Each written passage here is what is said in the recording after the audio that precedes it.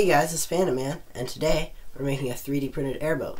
So, I have all of these parts over here that I've been 3D printing over the past week. Sorry about the dog. We just got home, so he's excited. So, I've got the front of the hull right here, rear of the hull. This is a little motor mount, and this is the actual thing I the motor attached to. They're two separate pieces. And I also got this rudder here that's just hot glued onto the servo. So I'm gonna glue the servo right here, motor mount right here, and then this part's gonna be right here. And then all over the bottom of this, probably from like maybe here all around to here again. And this back part and this whole piece pretty much is going to be covered in duct tape so it's completely waterproof because I'm not really sure how waterproof this stuff is. So let's start taping.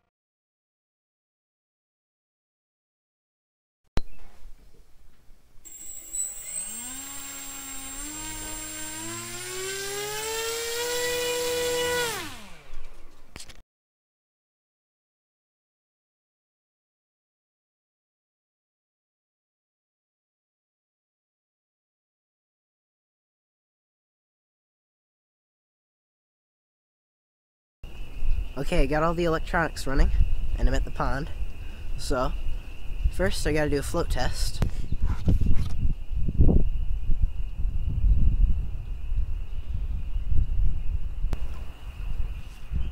Float's fine.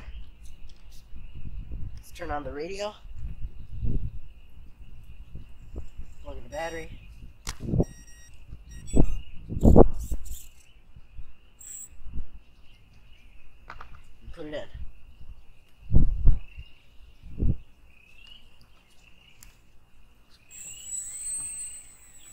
Sweet.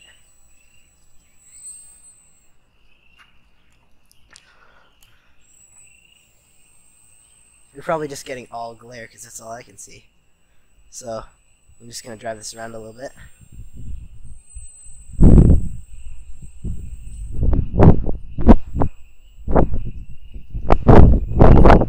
It has troubles with left turns.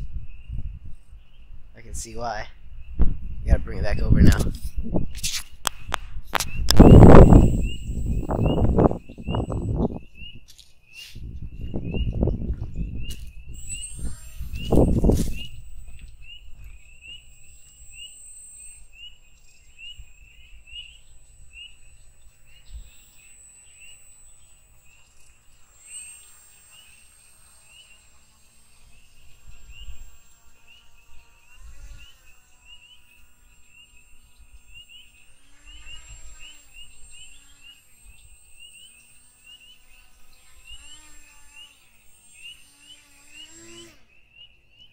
Okay, if you go much faster than that, the nose starts to dip in the water. So, could put a little bit more weight in the back. I don't really have anything to use. I think I'll shift the battery.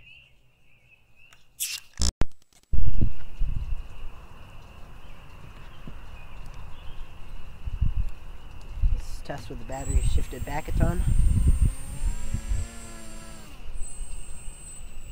Okay, it's not much better.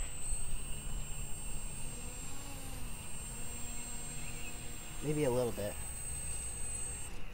I think we'll keep it like that for now. So.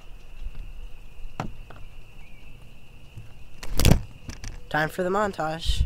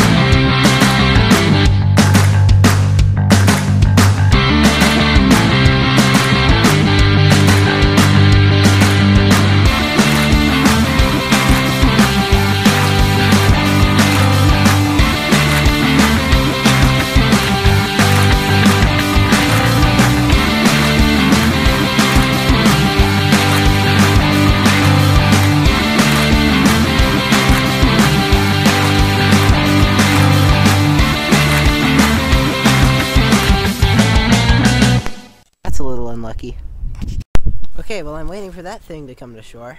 That's the end of this video. Like it if you liked it, subscribe for more, and see ya.